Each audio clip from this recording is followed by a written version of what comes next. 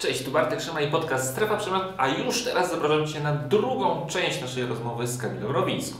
Powiedz mi, to kolejne pytanie, które bardzo często się zdarza, e, to może ja wcielę się w rolę takiej osoby. Kamilę, tak Cię oglądałam i Ty tyle rzeczy robisz, a mi się nie chce, ja nie jestem taką osobą, żeby mi się tak chciało jak Tobie. Czy Ty się zgadzasz z tym, że rzeczywiście trzeba być taką osobą już od urodzenia, że Tobie się chce te rzeczy robić, że w wieku 16 lat już zaczęłaś czytać te książki, w wieku 30 zaczęłaś biznes i tak dalej, i tak dalej. Czy jednak każdy jest w stanie sobie tą motywację znaleźć, albo w ogóle zmienić jakiś mindset, podejście do tej motywacji, żeby nie czekać, aż ona zawieje i przyjdzie, tylko że jednak znaleźć chęć robienia rzeczy w sobie? Jak ty to widzisz?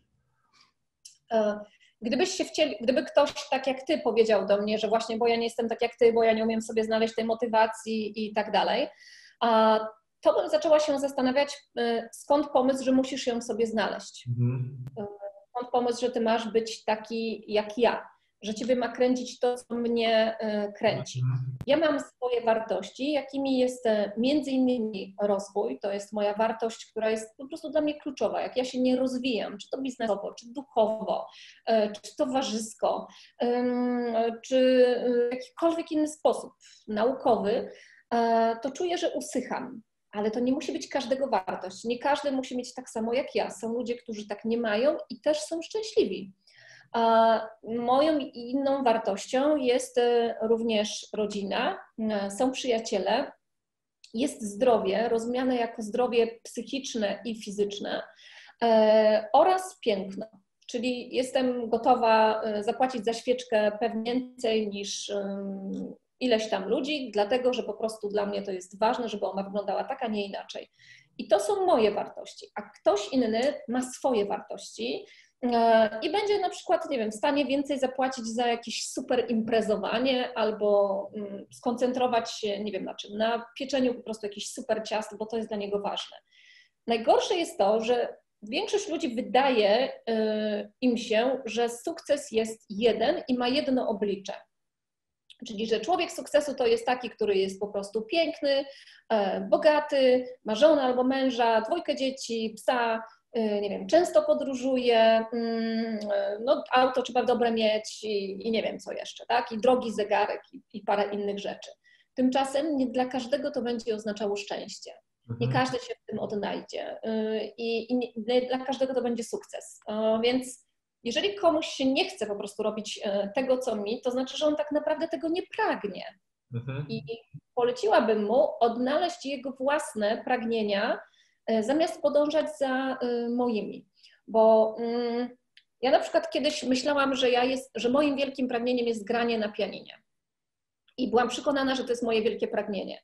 E, zapisałam się na lekcje i tak dalej, i tak dalej. I robiłam te lekcje e, nawet, e, ale przy zmianie określonych warunków, czyli jak się przeprowadziłam z Belgii do Polski, to nie chciało mi się szukać nauczyciela tak na siłę. Jeden, drugi powiedział, że nie ma czasu i ja to zarzuciłam. I można by było powiedzieć, że jestem niekonsekwentna. Tak ktoś by na skróty powiedział. A ja dłużej zastanawiając się, o co w tym chodzi, wiedziałam, że ja mam jakieś wyobrażenie, którym uwielbiam y, muzykę, y, uwielbiam y, odgłos po prostu grającego pianina. Jeżeli to jest w domu, to już jest cudownie. I tak się akurat złożyło, że mój syn zaczął się uczyć grać na pianinie. Zupełnie przez przypadek. Stało, zaczął się uczyć. I jemu to zostało. I mnie wystarcza to, że on gra. Ja w ogóle nie mam potrzeby się uczyć grać, więc to nie było moje marzenie, żebym ja grała, tylko ogólnie, żeby otaczała mnie taka muzyka. E, I teraz każdy z tych ludzi musi sobie znaleźć odpowiedź na pytanie, czy naprawdę to jest ich cel i ich historia po prostu, którą oni chcą realizować. Bo jeżeli przez dłuższą perspektywę czasu nie mają, nie potrafią odnaleźć w sobie po prostu tej siły, to albo to jest e, sytuacja, w której mają niskie poczucie własnej wartości, nie wierzą w siebie i totalnie myślą, że to jest nie dla nich, i wtedy zapraszamy do terapeuty. Mhm. Albo y, to jest jakieś ich podglądanie części życia kogoś na Instagramie i złudne wyobrażenie, że to jest całość. No to, y, to jest kwestia, którą po prostu jest złożona i trzeba ją dłużej, e, no dłużej tak, tak, tak, ale też bardzo fajnie o tym znowu powiedziałaś. A po prostu, ty też pytam o to, bo czasami kobiety Faceci zresztą też y, piszą właśnie, że no ja nie jestem stworzony do tego, żeby ćwiczyć, tak? No to jakby biorąc pod uwagę, co teraz powiedziałaś, no to jednak nie jest dla nich aż taką wartością ta aktywność fizyczna, tak? No bo jednak jeżeli ktoś systematycznie trenuje, no to zdrowie jest jednak lepszej jakości, jakby to są fakty. Jeżeli nie ćwiczą, no to jak widać, nie wiem, oglądanie w tym samym czasie telewizji i odpoczywanie jest dla nich większą wartością. Więc to jest znowu... Tak, to też ból związany z tym, że nie ćwiczą, bo ludzi motywują dwie rzeczy, e, ból i przyjemność. E, I teraz tak, przyjemność, e, tak jak patrzę na ludzi, którzy, wiesz, jako coach, ty, ty patrzysz jako trener i, i, widzisz ich na co dzień, a ja jako coach, kiedy patrzę na kogoś, kto zaczyna uprawiać sport, to on ma, czasami to jest kwestia zdrowia, że okej, okay, będę bardziej taki, wiesz, sprawny, jak będę mieć 80, to będę w ogóle, wiesz, po prostu super sprawnym człowiekiem, a czasami to jest jakieś e, wyobrażenie przyjemności, idę po plaży i po prostu wszyscy mdleją. I dla niektórych ten obraz tej przyjemności, że idziesz po plaży i po prostu laski ściągają majtki przez głowę na twój widok, jest tak tętny i tak wyraźny i tak wielki, że ten człowiek po prostu ciśnie tam, wiesz, co rano po prostu pije szejki, w ogóle odżywia się, bo to pragnienie jest takie wielkie. A dla innych fajnie by było, gdyby ktoś się obejrzał, no ale bez przesady, żeby od razu wstawać rano i ćwiczyć z tego tytułu, to już nie. Tak? Czyli nie chcą, ta przyjemność nie jest taka ogromna.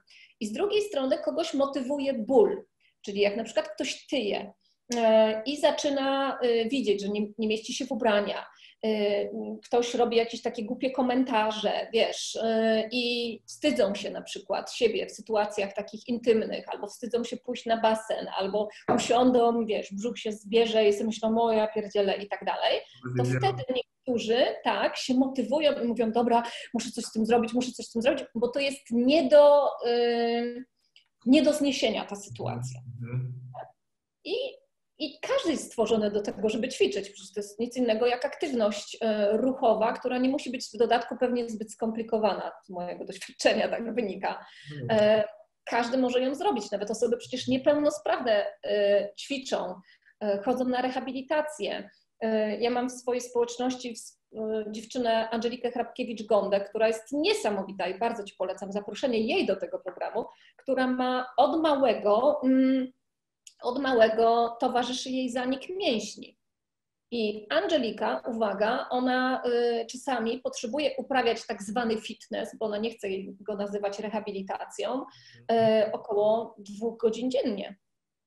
I to są bolesne treningi, ale wykonuję je po to, żeby jak najdłużej móc pozostać po prostu przy zdrowiu. Piękne, ale też pokazuje właśnie, że trzeba robić rzeczy mimo czegoś. I z drugiej strony też smutne jest niestety to, mają takie przynajmniej wrażenie, że rynek jakby stworzył coś takiego, że ćwiczenia, bycie osobą aktywną fizyczną jest modne. Że nie jest jakby czymś, co każdy powinien robić, żeby po prostu mieć lepszą jakąś zdrowie, tylko to jest modne. Po prostu, że jak ja na przykład wrzucam zdjęcie swojej sylwetki, to część ludzi uważa, że ja to wrzucam po to, żeby się pochwalić, że jestem szczupły, a ja wrzucam efekt swojej pracy. I ewentualnie w ten sposób próbuję zmotywować do tej pracy nad sobą, sylwetką i zdrowiem innych. A cały czas jeszcze jest taka trochę narracja, że jak ktoś ćwiczy, o to on jest modny, bo ćwiczy, bo chodzi na siłownię. Jakby to jest duża część, która powinna się zmienić, bo to jest powinno, aktywność fizyczna powinna być rzeczą, którą każdy powinien a, wykonywać. E, coś jeszcze chcesz do tego dodać? Tak, dodałabym, że y, myślę, że zarówno Twoja branża, jak i również y, moja, bo oboje pracujemy teoretycznie w jednej, tylko Ty pokazujesz y, taki efekt, że wiesz, że człowiek jest pięknie wrzeźbiony i że to ciało no, naprawdę wygląda imponująco. Ja czasami pokazuję mm, wyniki finansowe mm, moich klientów. Znaczy, no, ich konta w banku, ale pokazuje, że ktoś daje radę. No jakby mam trochę trudniej niż ty, co nie? Bo przed i po u mnie jakby trudniej trochę pokazać, ale, ale to pokazuje. I zwróć uwagę na to, że y, takie sukcesy y, ciężko jest czasami nam y, w Polsce przyjąć, Oj. żeby powiedzieć, okej, okay, nie mam tarki na brzuchu, yy, tak jak ty, ale to jest ok, że ty ją masz, a ja jej nie mam, dlatego że być może ona nie jest dla mnie ważna, nie poświęciłem tyle czasu, yy, co Bartek i, i okej, okay, ja jestem w porządku, on też jest w porządku, że po prostu tak o siebie zadbał. Albo dla wielu osób jest to nie do przejścia, żeby powiedzieć, ok, no ta Rowińska no po prostu jest skuteczna biznesowo, zarabia pieniądze, pisze książki, dużo pracuje, po prostu no, no kurde, Franca jest skuteczna biznesowo, co nie? Ja nie jestem, nie chcę mi się wcześniej wstawać, nie chce mi się tam, nie wiem, na jakieś szkolenia jeździć, ryzykować, inwestować i jakby też w porządku, co nie? Mam to, co mam. Tylko yy, nie, musimy to po prostu gdzieś tam zmiażdżyć i powiedzieć, to kurczy skurczybyk, co nie? O niczym innym nie myśli, tylko o tym, czy będzie miał po prostu tarkę na brzuchu. Tak, nic innego nie robi, tylko ćwiczy. Tak. Jakby, jakby to było coś złego, żeby ją mieć. Mhm. Okej, okay, no i jeden po prostu jest na bieżąco, jeżeli chodzi o M jak miłość, a drugi, wiesz, no spędził pół godziny na treningu i to jest w porządku, no ty wybierasz. Dokładnie tak, dokładnie tak. Może kiedy jest proste, jak się z Tobą rozmawia. E, powiedz mi, przeprowadziłaś przez ostatnie lata setki, tysiące szkoleń, na pewno masz dziesiątki tysięcy kursantów. No, rocznie około 7 tysięcy osób szkoliłam na żywo, mm, jak nie było pandemii. Natomiast tak, e, cały czas mam po prostu regularnie szkolenia e, kobieta niezależna, szkolenia mhm. sprzedażowe, zbudowania zespołu, z komunikacji asertywnej, budowania pewności siebie czy też z maksymalnej produktywności. Więc mhm. nieustannie robię te szkolenia. Kilkaset tysięcy osób e, na przestrzeni lat zostało przeszkolonych, e, no i liczę na kolejne. Wow, i tego Ci bardzo, bardzo życzę. I powiedz mi, prowadzić te szkolenia głównie dla kobiet. Kobieta niezależna, ten koncept mi się w ogóle strasznie podoba.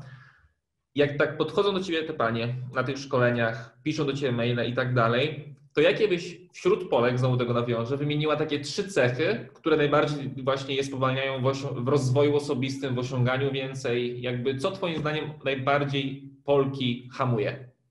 Mm, zdecydowanie przekonanie, że są niewystarczająco dobre i że jakieś takie być może to jest kwestia wychowania, być może to jest kwestia tego, że e, edukacja nasza jest tak zbudowana, że, że ci tylko na czerwono podkreślają to, co masz źle, a nie ma tego, co jest dobrze. Mhm. E, więc na pewno to im przeszkadza. Druga rzecz, e, no to są oczywiście mm, taki perfekcjonizm chory e, już, który zakłada, że jak ona będzie idealnie po prostu przygotowana do czegokolwiek, to dopiero wtedy wystartuje. A jeżeli jesteś do czegoś idealnie przygotowana, to znaczy, że już jesteś trochę y, za, że tak powiem, rzeczywistością, bo świat pędzi i nigdy się idealnie nie przygotujesz, nie nadążysz po prostu za tym. I bardzo często trzeba się uczyć w trakcie wielu rzeczy, a niektóre chciałyby to zrobić. E, no i y, nieumiejętność takiego delegowania czyli e, dzielenia się e, zadaniami, oczekiwania od członków rodziny czy też w pracy, e, że będą coś robili. Kobiety w Polsce bardzo często chcą zrobić wszystko same, one osobiście, one najlepiej, nikt tego nie zrobi lepiej od nich, więc biorą za dużo po prostu na siebie. I myślę, że te trzy rzeczy mocno im przeszkadzają. Zarówno jeżeli chodzi o wygląd, jak o sukcesy zawodowe, o poczucie, jaką jestem mamą, jaką jestem kochanką, jaką jestem partnerką czy żoną. Mhm. To nie jesteśmy tak zbudowani, w sensie ten mental polski jest jednak e, taki bądź skromna, bądź cicha, nie wyrywaj się, masz dobrą sylwetkę, to się po prostu nie chwal, co, nie? Co, się, co się chwalisz po prostu e, i tak dalej. Czyli takie cały czas odejmowanie sobie zamiast e, przyjęcia swoich mocnych stron i bazowania po prostu na nich. Ten model edukacyjny myślę, że też tworzy to, że wszyscy powinni być tacy sami. Nikt nie powinien wychodzić krok przed szereg, tylko każdy powinien być taki sam, co potem właśnie z czasem wychodzi. Albo zamiast, no mam dwójkę dzieci w szkole, mm, jedno jest akurat w szkole Montessori, to młodsze, a starsze idzie teraz programem szkoły brytyjskiej Mhm. E, czyli moje dzieci nie chodziły do takiej typowo, typowo polskiej szkoły, wiesz, gdzieś tam na osiedlu, bo e, po to pracuję, żeby im tego oszczędzić. Mhm. Sama wiem, że tego doświadczyłam i, i, nie chciałabym tego dla nich. E, jeżeli już coś mogę im kupić, no to chociaż jakoś lepsze samopoczucie w szkole. Mhm. I widzę to, że na przykład w tym systemie brytyjskim mój starszy syn, tam koncentrują się bardzo mocno na jego talentach, na jego zasobach, na tym, co on chce rozwijać i teraz jako, o mamo, jak to brzmi, 16-letni facet, mam 16-letniego syna, on koncentruje się po prostu na swoich zainteresowaniach, żeby przygotować się do egzaminu takiego GSE, a nie na tym, żeby być dobrym e, z polskiego, z angielskiego, z francuskiego, z fizyki, z Belgii, z historii, z geografii i tam nie wiem, co tam jeszcze było wtedy, kiedy ja e, miałam się uczyć. Tak? Wtedy musiałeś być po prostu taki od linijki e, w każdym przedmiocie i jeżeli coś ci nie szło, to miałeś to rozwijać, a jeżeli w czymś byłeś świetny, no to super. Mhm. Dokładnie jak na taki temat rozmawiamy, to ja mam przed oczami takie bardzo popularne zdjęcie w internecie, że na starcie stoi małpa, słoń, ryba i pies i wszyscy mamy zadanie jak najszybciej e, wejść na drzewo. I tak mniej więcej sam, tak samo wygląda właśnie w szkole, że jakich umiejętności nie masz, masz się uczyć tego samego co inni. Mam nadzieję, że ten system szkolnictwa też zostanie spopularyzowany w takim razie w naszym kraju, ale nie wiem, czy się na to zapowiada. E, powiedz mi, powiedz mi tak. Mam panią, która chce zacząć zmianę. Przesłuchała naszą rozmowę, mówi, kurczę, obejrzałam tą Rowińską, no jest niesamowita, ja chcę tak jak ona. Jak Twoim zdaniem powinna zacząć? Możemy, możemy jej polecić lektury, ale wiem, że to będzie wymagało e, czasu i inwestycji, więc myślę, że na początek bezpłatny e-book 7 kroków do osiągania ambitnych celów będzie świetny więc możesz go podpiąć dla swojej społeczności w do wideo i będą mogły panie sobie go pobrać e, i będą tam mogły wykonać takie ćwiczenie, w którym chociażby naj, najpierw popatrzą na swoje życie z lotu ptaka, wykonają, wykonają koło życia, później zaczną wytyczać swój cel. Ja je przeprowadzę przez określone pytania, które pomogą im w tym, żeby sprawdzić, czy ten cel w ogóle jest ich, naprawdę ich czy im zależy na tym, żeby to y, realizować, y, jak muszą się do tego przygotować. Myślę, że to jest coś takiego, co jest na początek idealne. No a później oczywiście, no to już jest kwestia po prostu rozwoju poprzez czytanie książek, uczestniczenie w webinarach, y, oglądanie zarówno bezpłatnych materiałów, jak również też inwestowanie w siebie, ponieważ no musimy wiedzieć, że pewne kompetencje po prostu kosztują. Nie wszystko można zobaczyć w internecie za darmo, no i czasami trzeba będzie zainwestować. Jeżeli komuś będzie zależało, no to wtedy polecam albo kursy online, albo dołączenie na jakieś szkolenie. Jeszcze Roda powiedzieć, że trzeba zainwestować. Dla mnie to jest oczywiste, a czasami mam wrażenie takie, że ludziom szkoda zainwestować właśnie w dwie rzeczy. W rozwój, czyli na przykład w czytanie w książki, już nie mówię na to kursach i szkoleniach, i w zdrową żywność. Nie wiem, czemu tak. tak Mhm. Wiesz co, najbardziej y, niektórym oczywiście, bo ja coraz częściej opieram, otaczam się ludźmi, którzy tego nie mają, ale y, tak, niektórym najczęściej jest y, zainwestować tak naprawdę w siebie. Tak, Ponieważ dla nas kluczowe jest zdrowa żywność i wydawanie, mm, no myślę, że nie wydajemy mało pieniędzy na jedzenie i mm, jakby nie oszczędzamy na nich ale to, są, to jest kwestia gdzieś tam jakichś priorytetów. Ja bym mogła dodatkowej kurtki nie kupić, mogłabym włosy sama sobie zafarbować po prostu, wiesz, albo z koleżanką jakoś pokombinować, żeby mi zafarbowała, czy paznokcie sobie samemu tam wydziergać, ale żeby znaleźć e, pieniądze na szkolenie, na książkę, na zwiększenie swoich kompetencji, czy też na spotkanie z dietetykiem, jeżeli potrzebuje jakiegoś wsparcia e, w tej dziedzinie, czy z trenerem, a są tacy ludzie, którzy wolą kupić kolejne buty albo nie wiem, coś, no coś innego po prostu jest dla nich ważne. I e, pytanie, co jest ich, ich celem długoterminowym? Ja mm, wykonuję trudny zawód, zarówno i fizycznie. Fizycznie dlatego, że po prostu to krzesło jest bardzo częstym moim partnerem. E, I jak prowadzę 8-godzinny warsztat na e, krześle, to domyślasz się, że, że, że potrzebuje po prostu wesprzeć się. Mhm. I ja jako trener, po to, żeby wykonywać swój zawód lepiej, pamiętam, że kiedyś poprosiłam trenera personalnego, który wtedy akurat jednocześnie był rehabilitantem, o to, żeby zajął się mną, ale nie w kontekście tego, czy ja po prostu będę wyglądać zajebiście na plaży, czy nie. Oczywiście lubię wyglądać zajebiście na plaży, żeby nie było tutaj jakby żadnych złudzeń, tak? To jest świetne. Ale ja mu mówiłam, E, musimy tutaj się zadbać o to, żebym ja była w stanie poprowadzić ten warsztat fizycznie, na przykład dwudniowe szkolenie stojąc na nogach. I on mówi, tak Kamila, trzeba popra, popracować nad twoim całym tym korem, te wszystkie tam jakieś wewnętrzne mięśnie wzmocnić i tak dalej, i tak dalej. I ja wiedziałam, że mój organizm jest moim narzędziem pracy mhm. E, i nie ma cudów. Ja muszę po prostu e, uprawiać sport, nie tylko po to, żeby być po prostu mi z basenu, tylko po to, żeby e, moje narzędzie pracy po prostu funkcjonowało, bo, bo potrzebuję tego zdrowia. Tak samo jak potrzebuję mieć tutaj też poukładane. Dokładnie. I chodzić na przykład na superwizję, jeżeli jestem po jakichś bardziej zaawansowanych takich sesjach coachingowych czy doradczych, w których e, no kurczę, potrzebuję też, żeby, żeby ktoś na moim poziomie albo wyższym porozmawiał ze mną na ten temat. Super. Więc ta troska o siebie, a nie o to, czy będziemy robić na innych ciągle wrażenie. Mhm, super. Idziemy dalej.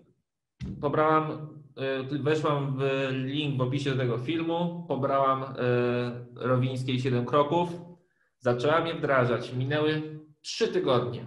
Jest sobota wieczór. No nie chce mi się, po prostu uważam, że to jednak nie dla mnie, mam dość, mam moment słabości i mam ochotę odpuścić. Każdy ma te momenty. Co ty proponowałabyś takiego sobie zrobić? Przede wszystkim, jeżeli to już jest nie pierwsze Twoje podejście do realizacji Twojego celu, to prawdopodobnie wiesz, że może taki moment nastąpić. Mhm. Więc e, nie ma co na etapie wytyczania celu udawać, że tym razem go nie będzie, bo będzie. E, I wiedzieć po prostu, że to są najnormalniej w świecie takie testy.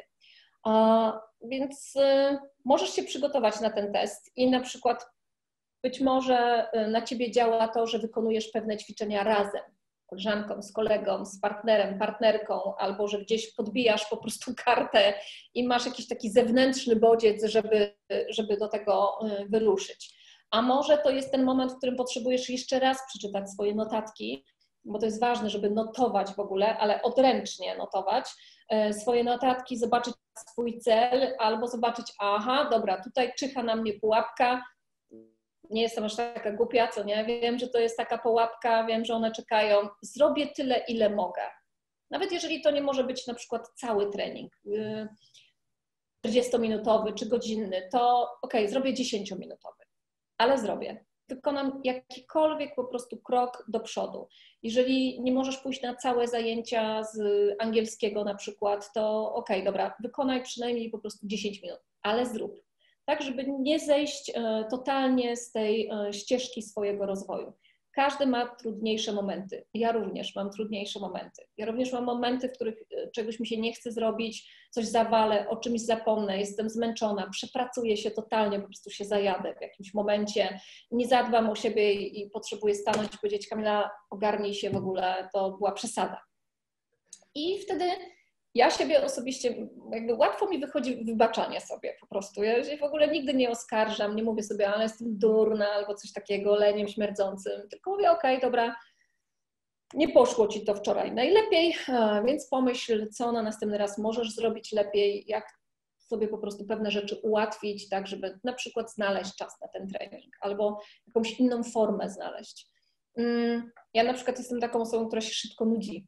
Mhm. I potrzebuję różnych bodźców. Ja po prostu raz chodzę na jogę, raz chodzę na tenis, raz chodzę na jakieś treningi personalne, raz po prostu, nie wiem, ćwiczę w domu, a raz y, zaczynam biegać nagle, ponieważ mhm. potrzebuję cały czas jakichś takich nowych doznań. Y, I nie, nie wyrzucam sobie, że tak mam, tylko akceptuję to i mówię, ok, dobra, to teraz, tu, teraz na przykład chodzę na zajęcia z tenisa. I Wiem, że jest to dla mnie ekscytujące. Mm, nabiegam się tam, nabiegam się za tą piłką y, i mówię, ok, super. Na przykład wcześniej uprawiałam jogę, ale coś, coś mi się stało, że po prostu pomyślałam, nie, ja już nie chcę robić, teraz będę grać w tenisa. I to jest w porządku. Czyli żeby założyć, że to jest coś, co ci towarzyszy całe życie mhm. y, i jeżeli nie możesz wykonać stuprocentowego planu, to wykonujesz plan minimum, ale go wykonujesz.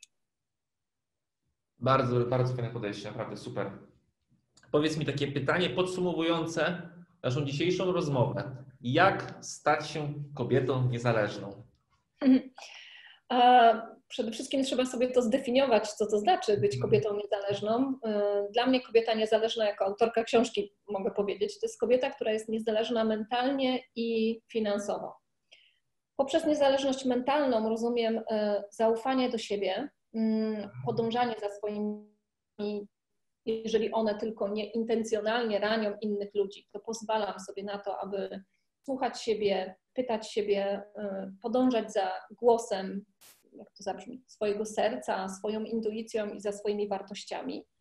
Czyli na przykład, nawet jeżeli wszyscy mówią, że mam prawnikiem być, a ja marzę o tym, żeby być kimś innym, to posłucham tego. Nawet jeżeli e, wszyscy powiedzą mi, że mam mieć, nie wiem, krótkie włosy, a ja chcę zapuścić i dobrze się w nich czuję, to je zapuszczę. Nawet jeżeli wszystkie moje koleżanki po prostu zrobią sobie takie wielkie usta i powiedzą mi, że ja mam małe, a ja spojrzę w lustro i się sobie podobam z takimi, to powiem, ok, takie mi wystarczą. I, czyli takie mm, bycie po prostu takim wewnętrznym, sterownym. A druga rzecz to jest bycie samodzielnym finansowo w kontekście takim, żeby móc przejąć odpowiedzialność finansową za siebie, jeżeli zajdzie do tego potrzeba.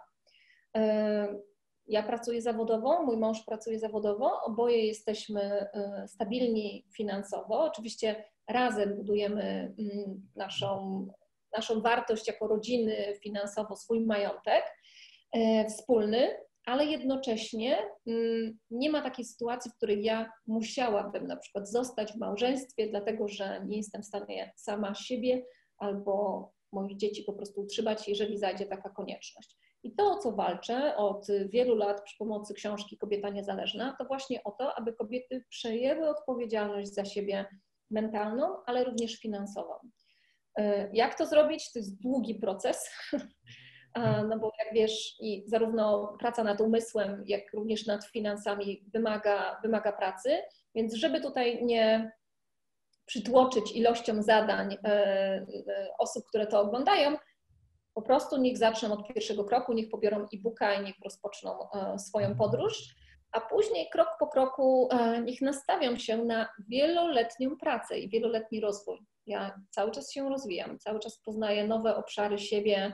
Mm, jestem na przykład jako coach, e, jestem dyplomowanym coachem po laboratorium psychoedukacji Jestem na przykład po sytuacji takiej, w której przechodziłam grupę otwarcia, czyli taki wyjazd bardzo mocno e, rozwojowy, polecam sobie wygooglować, albo na przykład przez psychoterapię, po to, aby przepracować wszystkie, mhm. znaczy no może nie wszystkie, bo wszystkich to naraz nigdy nie przepracujesz, ale przepracować niektóre kwestie, które gdzieś tam się odzywają na przykład z przeszłości.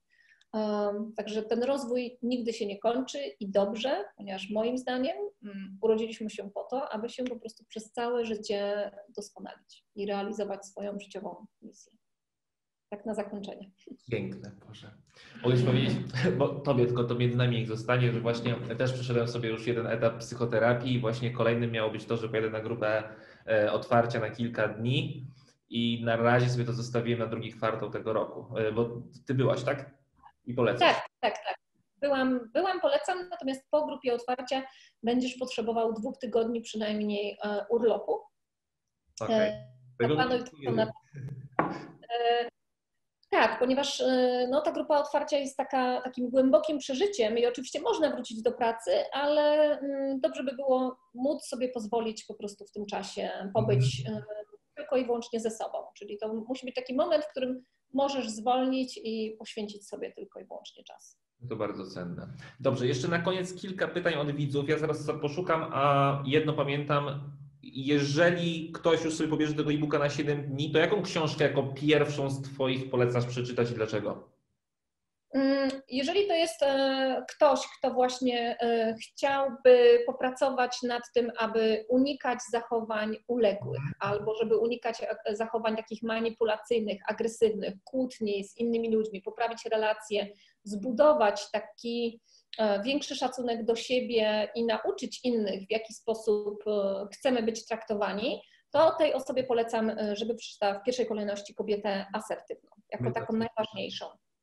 Natomiast jeżeli ktoś jest na etapie, e, jeżeli ktoś jest na etapie właśnie takim, w którym chce się dowiedzieć, w jaki sposób e, pokierować swoją karierą, zainspirować się do um, takich aktywności bardziej biznesowych, lepiej zarządzać sobą w czasie, nauczyć się zarządzać swoim budżetem, domowym, delegować zadania, przepracować sobie przekonania takie szkodliwe, które nam mhm. czasami towarzyszą i dotyczą tego, mm, jak podchodzimy do pieniędzy i do sukcesu, to Kobieta Niezależna jest tą książką która, uwaga, tutaj zawiera bardzo też ciekawe wywiady z kobietami innymi niż ja, wiadomo, mhm. które osiągnęły sukces e, zawodowy, niektóre biznesowy, niektóre zawodowy i każda z nich zrobiła to inaczej niż ja.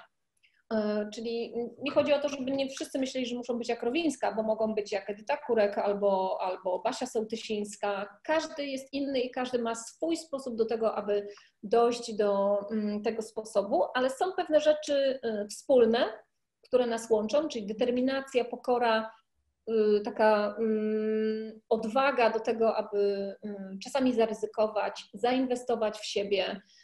Zaufać sobie. Mm, I myślę, że jej można się po prostu od takich kobiet jak najbardziej uczyć. Super. I na koniec jeszcze dwa trochę prywatne. Czy to prawda, że wyprowadzasz się do Belgii? Tak, to prawda, że wyprowadzamy się do Belgii e, w tym roku z rodziną.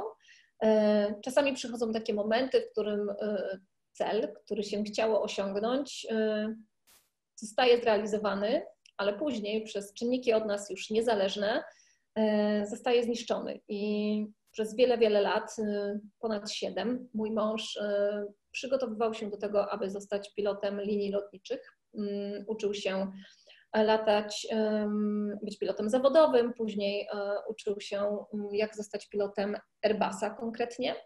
No. Został tym pilotem, z tego powodu też przeprowadziliśmy się do Polski z Belgii, aby on, kiedy będzie więcej latał, e, żeby był w Polsce, ja, żebym była bliżej swojego biznesu.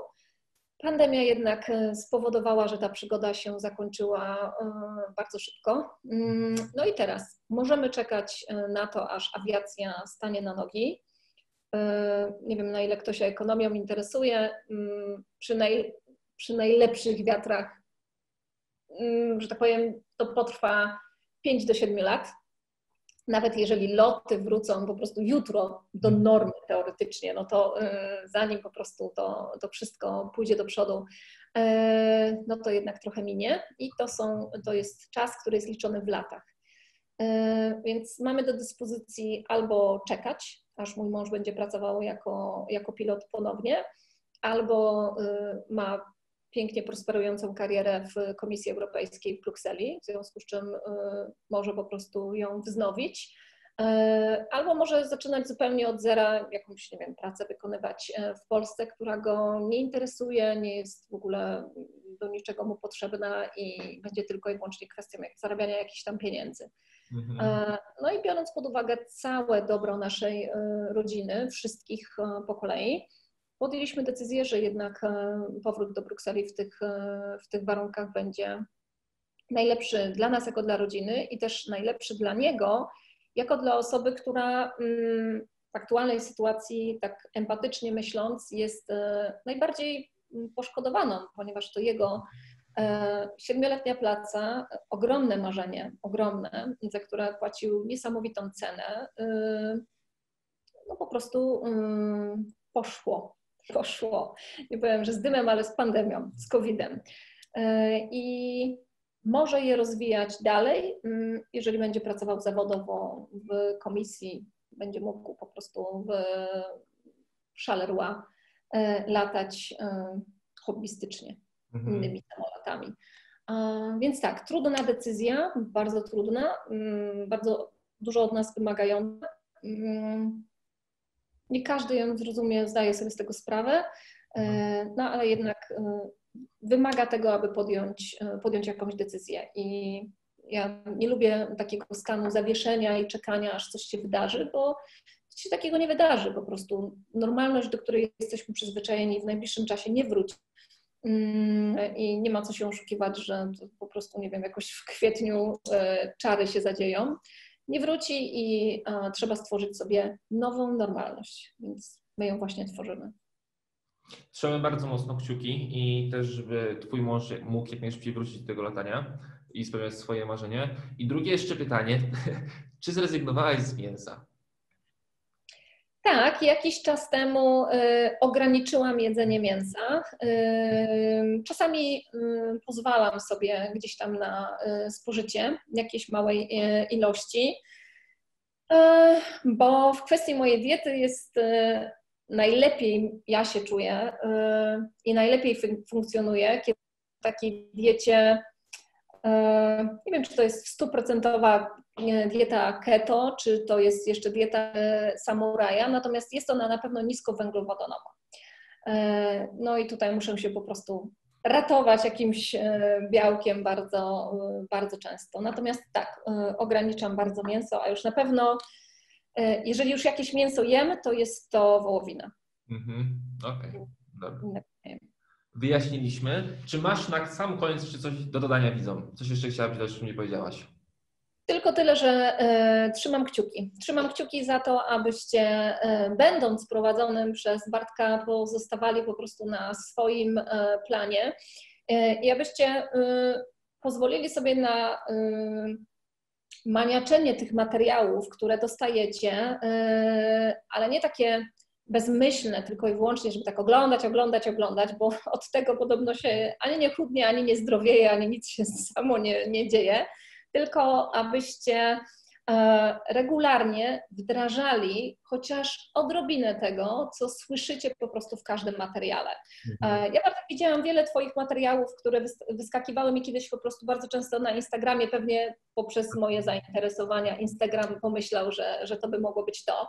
No. E, dajesz bardzo dużo wartości, e, takiej mm, wiedzy merytorycznej, nie na zasadzie jestem taki piękny, patrzcie jaki mam po prostu ładny brzuszek, w ogóle bądźcie jak ja, zróbmy teraz po prostu 10 pompek i 3 brzuszki, a tylko uczysz ludzi e, w świetny sposób, w jaki sposób e, mają podchodzić po prostu do kwestii chociażby nawet swojej właśnie tej zdrowotnej przemiany czy odżywiania. E, Nie wszystko, co ty mówisz, będzie do wdrożenia dla początkujących z dnia na dzień, bo to jest za dużo, ale chodzi o to, abyście wdrażali to chociaż stopniowo. Po prostu jedna rzecz, którą, jeżeli słyszycie po prostu, że trzeba zrobić, zrób tą jedną rzecz, a za jakiś czas przyjdź po drugą i po prostu wdrażaj te y, nawyki, nie oczekując od siebie, że y, się zbierało mm, swoje złe nawyki, szkodliwe przez ostatnie dekady, to nagle po prostu zacznie człowiek e, mieć szczęściem i zdrowiem.